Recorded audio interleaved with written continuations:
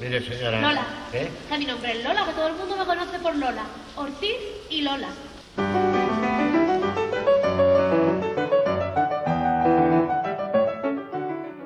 Sí, por favor.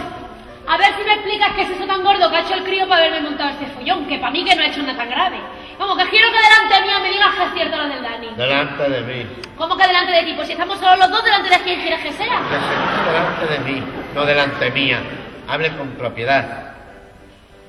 Siéntese. Si no se sienta, para que yo me levante. Pues entonces mejor no me siento. ¿Qué haces? Pues que no te moleste, pero que no me voy a sentar aquí al lado tuya. Me voy a sentar a tu lado. No, no, tú ahí, yo aquí, ya te digo.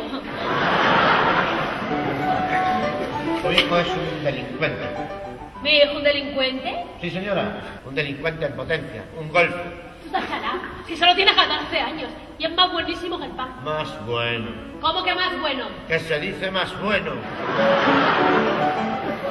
Lee en silencio estas líneas. Hasta aquí. Muchos años después... No, no, no, en silencio. De corrido. Ok, 1, 2, 3, suelta el 1, 2, 3,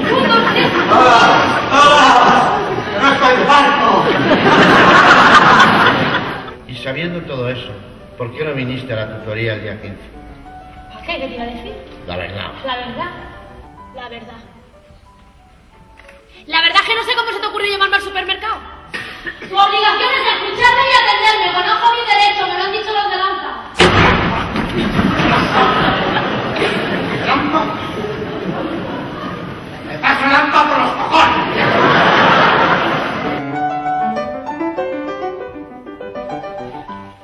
las 8 a la puerta del corte inglés de Princesa.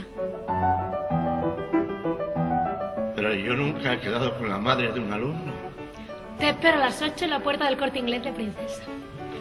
Sí, no me mire así. Está cometiendo un laísmo. Recuerda utilizarlas cuando es complemento indirecto. Les, las, los, le, lo, la. Lola, me saca de mis casillas con sus incorrecciones lingüísticas.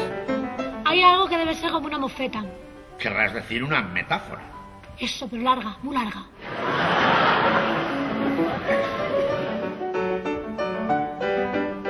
Un hombre que es capaz de levantarte la mano es un cabrón. Que no ha sido Paco, que me lo he hecho en el supermercado. Si tú no le pones la denuncia, se la voy a poner yo.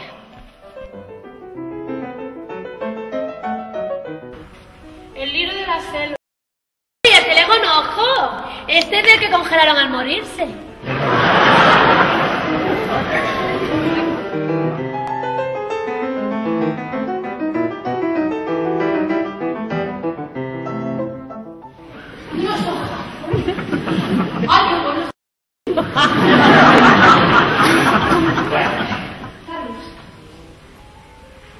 que creo que.